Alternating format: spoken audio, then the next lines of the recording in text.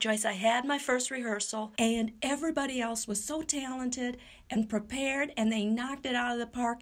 And I felt that I wasn't prepared, and my speech was way too long. Afterwards, I had this feeling, Joyce, like I wanted to quit.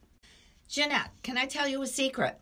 Not only your coach, Joyce Weiss, every single professional, you heard me say professional speaker, these are people who are experts in their topics. They go to the National Speakers Association. The first year is usually, I want to quit.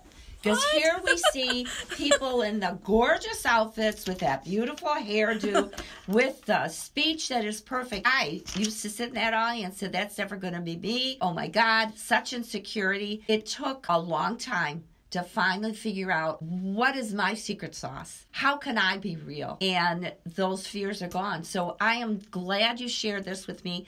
You are so not alone. What I learned from that, Joyce, mm-hmm. and part of your homework as my coach, mm-hmm. is you're asking me what I learned from that experience. Thank God I practiced the gap. Good. It's perfect. It's easy. Before you open your mouth, if you're in the middle of a tough conversation, step into the gap for a couple seconds and just ask yourself, how do I want to respond? Am I going to say something? Am I going to be silent?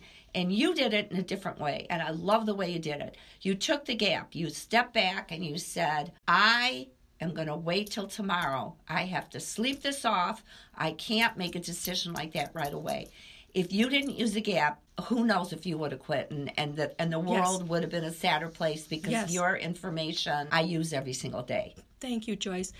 I practiced Joyce Weiss's The Gap. I asked myself when these overwhelming feelings came over me like I wanted to quit because I thought, how can I add one more important thing to my plate full of busy life with accurate body language? There is no time for me to do what I need to do to prepare for this very important speech. But I took the gap and I asked myself, am I reacting out of fear or do I need to wait, sleep on it, touch base with Joyce, and then from my executive logical brain think of all of the benefits of continuing on this journey through go.